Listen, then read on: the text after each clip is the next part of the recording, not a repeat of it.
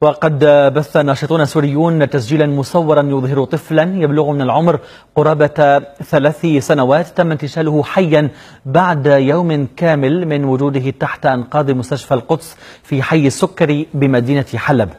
وكان المشفى قد تعرض لقصف من طائرات النظام السوري وهو ما أدى إلى مقتل أكثر من 30 شخصا بينهم أفراد من الطاقم الطبي ومرضى. كما ألحق القصف دمارا كبيرا بمبنى المستشفى ومحيطه من الأبنية السكنية